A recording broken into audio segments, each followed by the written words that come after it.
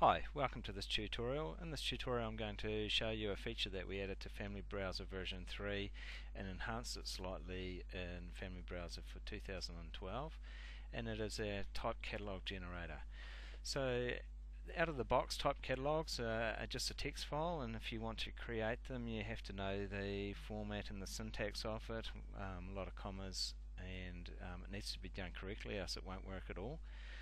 Um, we've made a graphical user interface that um, clears that up so you don't need to know all that, it just does it all in the background and a simple and easy way to add, edit and create type catalogs.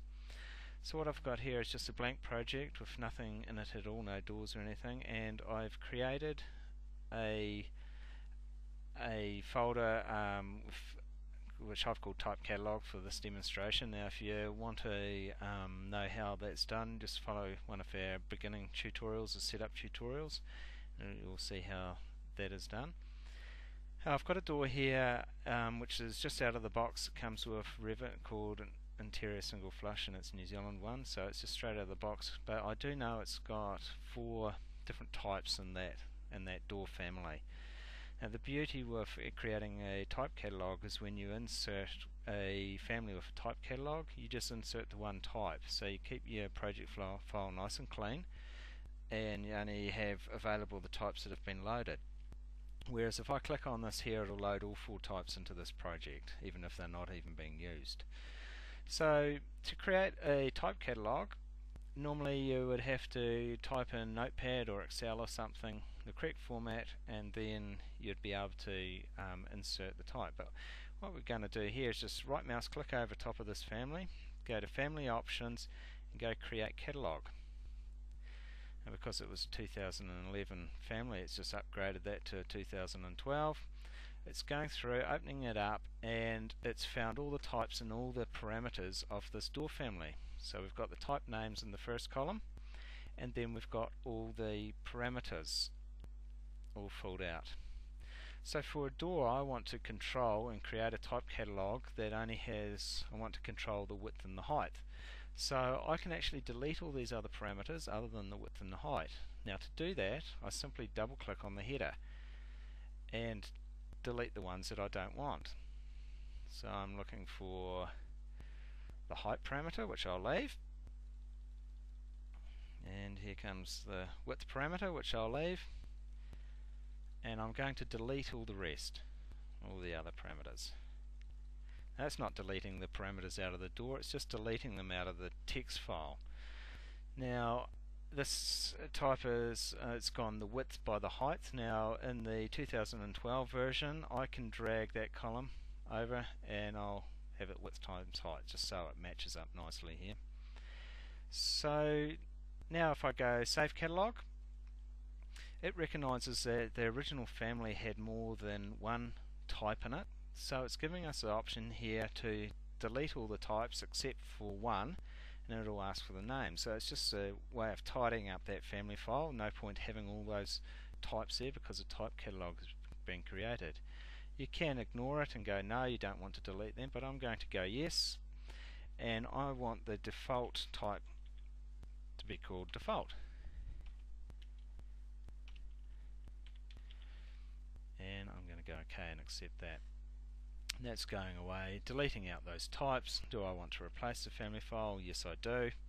And it's done it, and it has created the type catalog. When I move my mouse over top of it, now I have the options of choosing the types that I've created.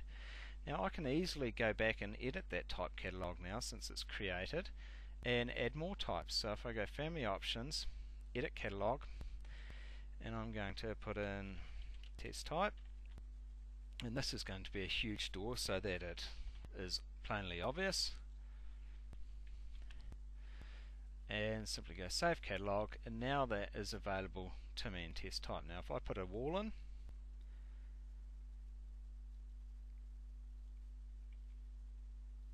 I'll just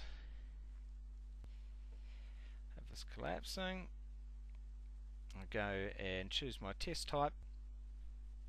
Because it's never been loaded into this project, it's a blank project, it's gone away and loaded that family. And there I go and I've placed it. Now if I select that family it's test type. It is only inserted that type of door. If I go and I'll just stretch that out. Go and get one of the other types that was pre-made. So now if I select that door we've got the two types. So as easy as that to create type catalogs I can easily right mouse click go edit catalog. I can press the delete on there to delete types. Obviously I can add more types um, and the only other thing really is I can also recreate the type catalog. So say I've deleted I want to control also the width of the panel. I know there's a parameter in there. I can right mouse click here go family options and go recreate catalog and it'll bring in all the different types all the different parameters again and the types that are within this project. Okay so if I go through and delete the ones I'm pretty sure there's a panel width. I think it'll be this thickness here. Okay. Test type 2 width. Um? And we'll make that 100. Go save catalog. No, in that case, that time now, test type 2. There we've got the, oops, tried to put a door on top of a door. Now I'm controlling the width of the panel there as well. So it's easy to recreate the type catalog as well. Is I've never needed to go into the um, text file and edit anything. There's one other thing, family options, edit catalog. Depending whether you're in a metric or imperial um, project, will give you the options. If you're imperial, be inches up here instead of millimeters.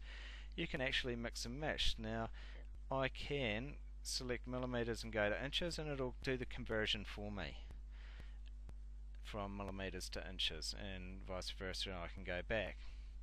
Also I can um, type in metric inches and at 90.5 it will do the conversion to 90 and a half. So there's quite a lot of options there and it's doing a lot of checking in the background to make sure everything is correct. So if I go save catalog there I go to the to my C drive to the project folder where this is demos. Um, that's text file that's been created. It's put in the in the correct place, and that is the format of the text file that um, Family Browser is creating. So that's our type catalog generator. Nice and easy. No need to edit text files. No need to copy text files around. It puts it all in the correct place for you, so you can start using straight away. Um, you don't even need the family loaded in your project can extract that, um, make your catalog and then move on to the next one without it even being in the project. So hope that might be of some use to you.